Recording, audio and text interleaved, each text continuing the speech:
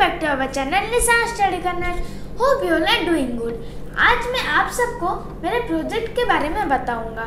So let's start today's video myself animation है from class five today I am going to explain you about my math project three D model on data handling but first let's know about data data is a piece of information. It is of two types, unorganized data and organized data. But my project is data handling. So let's know about data handling. What is data handling? Data handling means collecting, organizing, and representing information in a simple and meaningful way. Collecting means to collect information.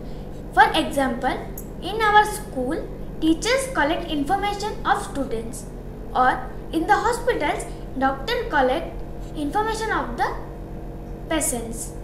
Organizing means to arrange data and representing means to show data for understanding clearly. We can represent data in the form of different types of graphs and tally marks. Different types of graphs are like the bar graph, circular graph or the pie chart and the pictograph. Let's talk about the tally marks. Here I have a tally mark. Tally marks is a way to count the numbers. It is used to count the numbers. The number 1 is represented as one vertical line. The number 2 is represented as two vertical lines. The number 3 is, is represented as three vertical lines and the number 4 is represented as four vertical lines. But the number 5 is not represented as five vertical lines.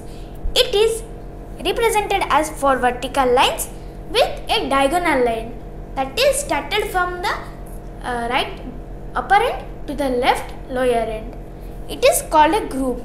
For example, uh, if I gave you an example of number 7, it is uh, made by a group and two vertical lines. Uh, similarly, number 9, it is uh, made by a group and four vertical lines. If uh, we take a bigger number of two digit like 12, it will be two uh, groups and two vertical lines because uh, 12 is equal to 10 plus 2. So 10 is equal to 2 groups and 2 is equal to 2 vertical lines. I am showing you the tally marks around the world. Here you can see that the countries like Australia, Europe, North America, Zimbabwe used same like us but the diagonal line is different from us. This it is opposite. In countries like Brazil, France, South America and Spain it is a diagonal line in a box. And countries like China, Hong Kong, Japan, Korea it is like this. There are different types of graphs. Let's know about it. First is the bar graph. A bar graph uses bars of different heights and lengths. For example, I take four stu- some students and uh, their favorite foods are apple, mango, banana and orange.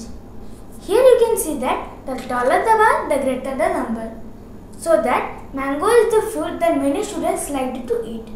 Next is the pictograph. A pictograph uses symbols or pictures to represent data. For example, some students are there named as Kabir, Riya, Arjun and Neha. Here one apple picture represents two apple. So if Arjun ate one apple picture so that he ate that two apples.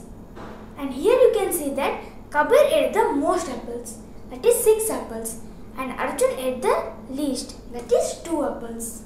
It is a very fun and encouraging way to represent the data especially for the young learners. And let's finally talk about the circular graph. It is also known as a pie chart. It is it uses a circle that is divided into parts. For example, if I make a circular graph of my daily activities, we know that one day is equal to 24 hours and I am dividing it through my daily activities. So I gave 8 hours for sleep, 6 hours for school, 6 hours for study and 4 hours for play. Here bigger the part represents that I slept for more time. That is 8 hours. This is all about my model. I thought that I gave you the best explanation of this and I have cleared your all your doubts. अगर video अच्छा लगे तो एक like और share कर देना channel पे नए आए हो अगर हमारा वीडियो अच्छा लगे तो एक सब्सक्राइब कर देना And if you have any queries, please follow me at Insta at NSC Best or you can comment me on the comment box. Thanks for watching.